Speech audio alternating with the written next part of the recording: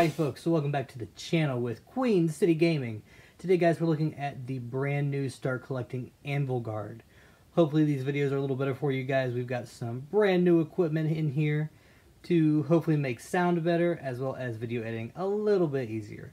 Alright folks, so let's get this open and see what's inside. Alrighty folks, so here we do here we go. We've got the box open up. Just like any Start Collecting box with Games Workshop, you're to have a full set of instructions right here on the top in this case. Um, guys, these are full colored instructions going step by step over all the models.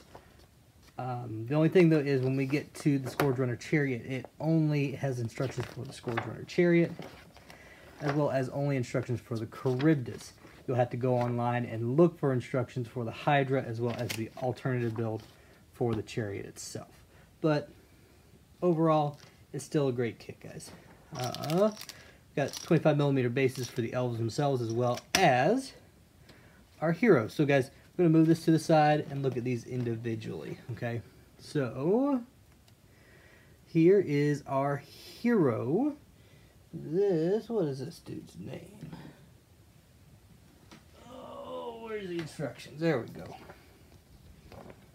This, there we go. Alright guys, so this is our Black Ark Fleet Master. I love his cloak. Um, he's pretty cool. He still comes with the old school square base that is optional. There are enough 25 millimeter bases in the bag to give him a 25 mil, which would be the appropriate size for him. Alrighty. Next up is one of the chariot sprues. This is actually the uh, drivers of the chariot. So you have four bodies on here, so if you wanted to, you could make two extra guys. But you're mainly going to use this side over here and then a couple bits and bobs on that end to make the uh, chariot for the start collecting. Um, so this chariot is actually, surprisingly, a really good shooting platform. It's got a decent um, shooting attack that can do mortal wounds when you roll a 6 to hit and it has to be a natural six. You cannot use modifiers for it. All right, so then we go into the actual chariot itself. Comes in two pieces, guys, to make filming a little easier. I'll separate them. Alrighty. So, the actual chariot. The elf chariots were weird because they only have one wheel. Um, I know it's kind of different, but it is what it is. Uh, these would be the pieces we would use for the main body of the chariot, and that would be the floor. Uh, these are the optional builds for the ones with the lizards that are pulling it. And then finally, guys, we have the mounts themselves that are pulling it. Uh, when I built this set previously, uh, this side is the optional side, except for like this piece right here. Lizards aren't really used, so if you have a friend that wants to use them, that's great. They're actually pretty cool looking models. And then the horses that are used for the Scourge Runner Chariot. Alrighty, folks. Into the big stuff. So we have the uh, Charybdis slash Hydra here, guys. This is the standard Games Workshop piece. Um, luckily, these necks and heads that are on this model actually come in fairly large pieces. So there's not a ton to assemble itself. And then finally, the last piece to the Charybdis, it's only two frames. Alright, and then you've got your... Uh, little elf handler things that have the big whips that are probably going to break two minutes after you build this thing, so be careful. And finally, guys, my favorite part of this kit are the uh, Black Ark Corsairs. They're pirate elves. Who doesn't like pirates, guys? Um, especially you Alpha Legion players out there. This kit is fairly priced if you buy it individually. and It has some great conversion bits. These cloaks are fantastic and will contrast paint up very, very well. That's my plan for them. And then you get these really cool, like, swashbuckling blades that would be awesome for Alpha Legion. And, like, little crossbows and stuff. It's actually a pretty cool little kit. I mean, like, weapons like this for your sergeants of Chaos Space Marine squads would be pretty cool. Alrighty, guys. Some chest pieces there, little crossbows. Let's flip this over the uh, your two emblems for your banner, your horn blower. Where's the banner? There it is. And then finally the banner itself, right here. All right, guys. So, and then we have not one, but two of these large bases. The Chariot and the Monster are both on these. Uh, you'll see here in a second about how I feel about those. We'll see after we get these built.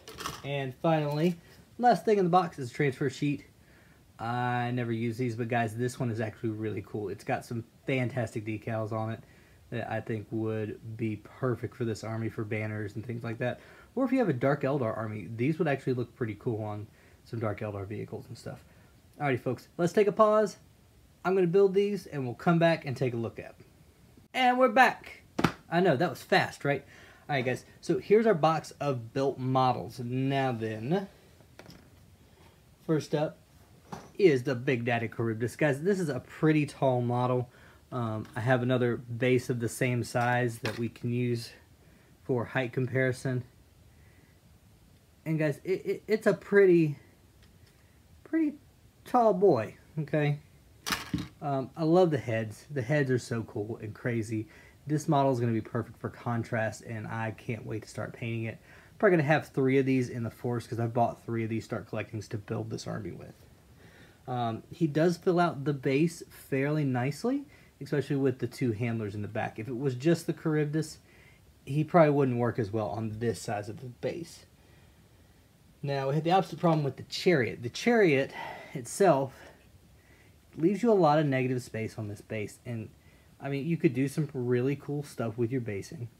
And I mean, this is a really cool Chariot, guys. I love the riders, especially like the dude with the harpoon is pretty cool with his cloak flowing in the wind you can kind of switch out the spears in the back. And then you have like a super dynamic posed um, chariot driver there with the actual uh, reins going to the horses, which I thought were a really nice touch. But guys, they're really easy to break. You can actually see uh, right there where I had to do a little bit of repair job on mine. And then the one big wheel in the back. If you really, really, really want to focus on your painting with this model, I would suggest building this in um, sub-assemblies. And if you don't want to do sub-assemblies, I would at least take the two riders off the next time. That's probably what I'm going to do from now on with the uh, rest of the kits. Alrighty. Mr. Captain Man. So, my man, the myth, the legend, the Black Ark. What is he? The Fleet Master. Alright.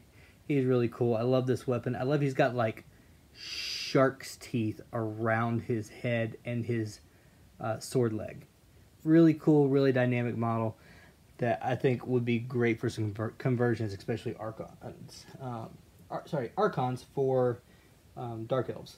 So guys, I'm going to show you a couple of the models from this set.